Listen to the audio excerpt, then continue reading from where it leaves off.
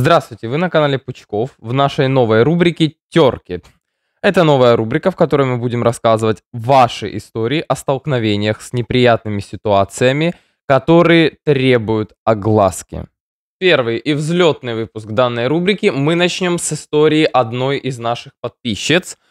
А именно, к нам обратилась подписчица с невероятной историей, о которой невозможно смолчать. Суть этой истории заключается в том, что в городе Болотное Новосибирской области России в школе номер 4 до девочек-подростков домогается и охотится полноценный потенциальный маньяк.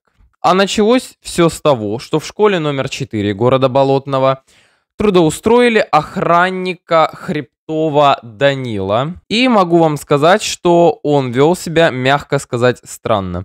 У детей с первых дней появились жалобы к директору на него, хотя дирекция, как мы выяснили позже, абсолютно никак не реагировала на замечания детей и их родителей.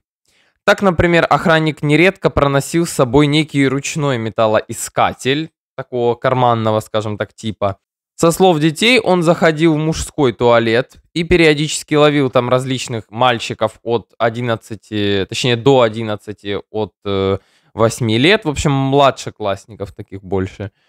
И впоследствии начинал проводить своеобразные обыски их на предмет ценных каких-то вещей и содержимого.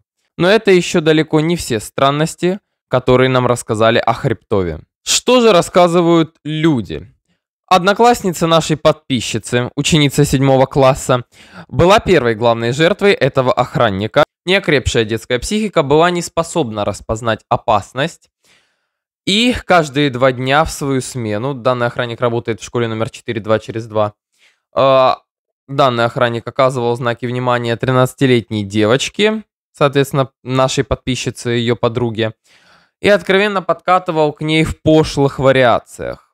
Так как девочка была из неблагополучной семьи, обратить внимание на данную ситуацию, по сути, было некому. К сожалению, не заподозрив неладное, девочка приняла приглашение охранника к нему домой, непосредственно в его квартиру. Там Данил Хребтов, как рассказывают нам жертвы, начал спаивать ребенка спиртными напитками. И девочка, еще не имея такого жизненного опыта, дабы распознать какую-то беду, да, не отказалась от данного предложения и спустя, соответственно, время, пару бутылок, если быть точнее, была уже вне кондиции. Увидев у ребенка отсутствие возможности к сопротивлению, Хребтов начал, разрывая ребенку буквально одежду, наваливаться на нее и надругался над жертвой. И после того, как Хребтов отпустил ее, совершив свои грязные действия, назовем это так, придя домой, девочка ничего не стала рассказывать родителям, родственникам и, в принципе, утаила данную ситуацию, так как побоялась огласки и не хотела как бы поднимать все вот это вот ворошить осиное это гнездо. Но через месяц все же она решилась на это, рассказав все это родителям. Инициировала поход в полицию ее тетя Анастасия. Однако полиция по приходу семьи в участок Э, города Болотного отказалась принимать заявление, уверяя, что для семьи это будет лишь во вред. То есть, что это примет какую-то огласку, ну и в принципе это станет позором. После чего семья все же приняла решение действительно отказаться от данного заявления и отказаться от уголовного преследования Хребтова. Проведя более детальное расследование, мы обнаружили еще много странных случаев, связанных с Данилом Хребтовым. При расследовании вскрылось, что Хребтов не только цеплял детей в школе, но и еще пытается знакомиться с ними в боте, в чат-боте Леонардо да Винчи. Данная анкета является для него некой такой сетью для поимки и выискивания детей. Хочу отметить, что Данил Хребтов в городе никого не боится и сто процентов верит в то, что рука правосудия не коснется его вообще никак. Тетя изнасилованной девочки, однажды обнаружив в группе знакомств Хребтова, в городе Болотном, соответственно, в неком таком мини-подслушано, озлобленно ответила ему в комментариях, он был в комментариях, писал некий комментарий, назвав его педофилом, а и найдя ее адрес работы, ворвался в офис, где она непосредственно работала, и начал ей угрожать. У меня есть переписки, как ты писал, Полине, девочки, в состоянии что? твоего пьяного алкогольного опьянения Я пьяного алкогольного были опьянения переписки в ВК, Педофилия где ты ей такое? предлагал, дальше. Педофилия это что такое? где ты ей пред... Девочки, знаешь, сколько лет? Педофилия это что такое? Педофилия Да. – это пристрастие к девочкам, к несовершеннолетним. Мгм. Дальше что? Ты писал Факт это? есть? Факт есть. Факт есть. Переписки Прям сохранены. факт, да, вот да, вот всё есть, конечно. да? Я их предоставляла даже завучу школы номер 4. Хорошо, а почему в органы не предоставили? А потому что я собираю полный материал. Полный материал? Конечно. Какой полный материал? Я собираю полный материал. Какой материал полный? Ну, я тебе об этом не скажу, ты узнаешь об Да? этом перед весенним призывом. Перед весенним Да, призывом. и, возможно, ты даже поедешь не в Вы, армию, а в наверное, тюрьму. не в курсе, вы, наверное, не в курсе, что Я в не курсе. Нет, не Но это мы уточнили уже в военкомате, Ну, сказали, что ты вполне годен и попадаешь под весенний призыв. Ну да, посмотрим, как я попаду под Все, весенний до призыв. свидания, всего Педофилия, хорошего. Так она доказана, нет? Доказано. Так где она И в этой же переписке, А а, а, слушай, малыш, в этой же переписке ты упоминаешь, Мужа, мужа будешь называть малыш, понятно? Не надо со мной в таком тоне разговаривать. со мной тут в таком тоне не Вот я тебе сказала. значит, вот так вот, да? У меня есть переписка, Да в которой ты переписка. сознался, что ты по Переписка. пьянке изнасиловал малолетку на хате. А, да? Да. А Вон Настю как.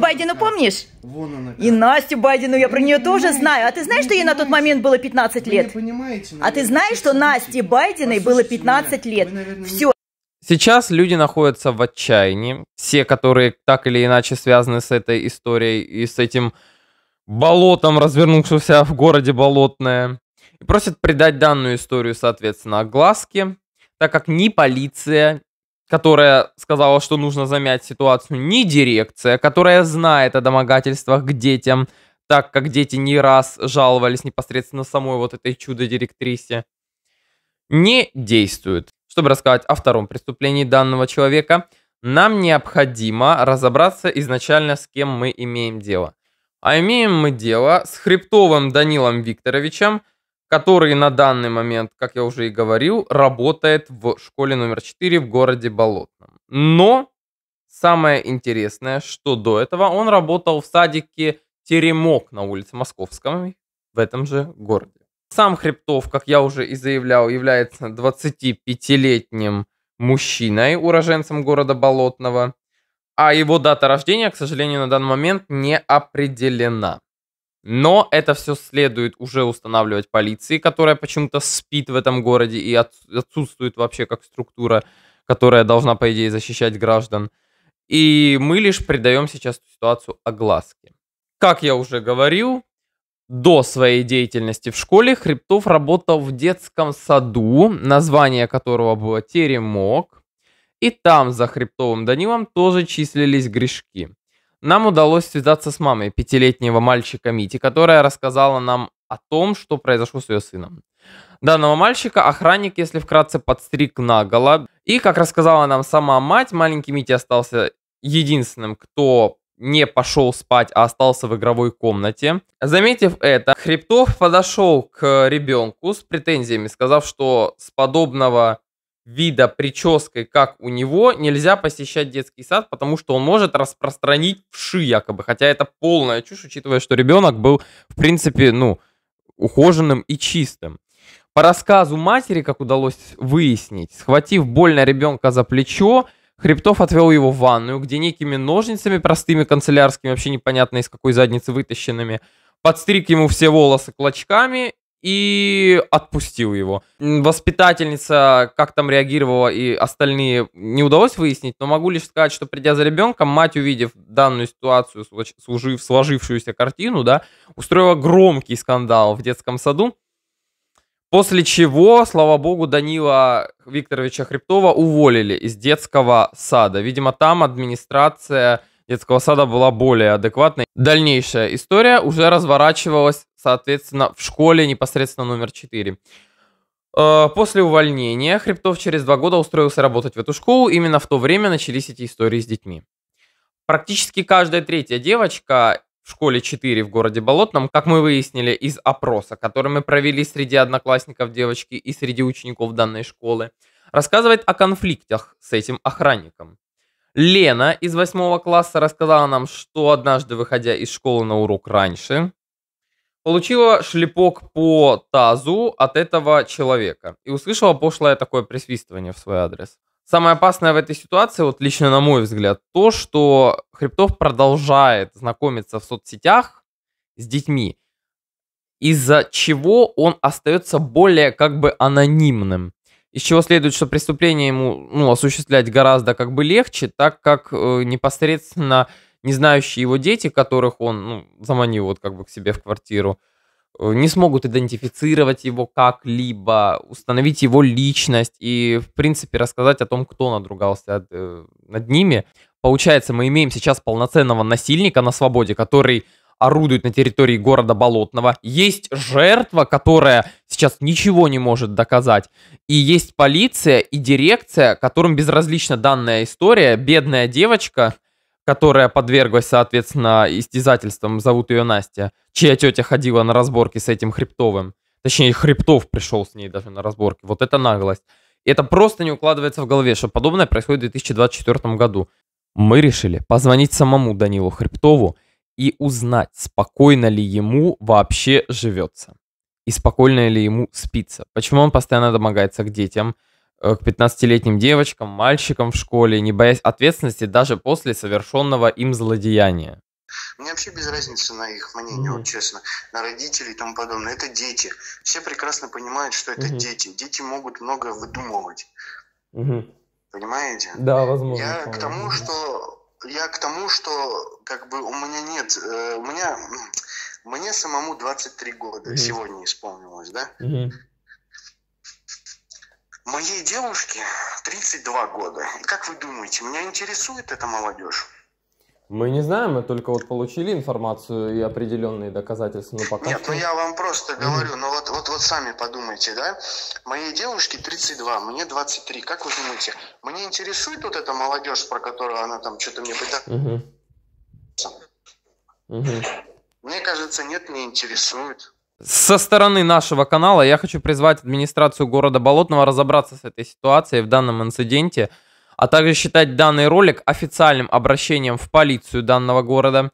В общем, еще раз надеюсь на то, что правоохранительные органы обратят внимание на данную историю и, соответственно, проведут проверку и установят все подробности обстоятельств данного конфликта. Ну что ж, вот и подошла наша новая пробная рубрика терки к своему завершению. Подписывайтесь на нас, ставьте лайки, пишите комментарии, и мы также будем безмерно рады вам, если вы поддержите нас донатом на Donation Alerts или же на карточку Сбербанка. Это был Терки, выпуск номер один. Спасибо за просмотр, до свидания.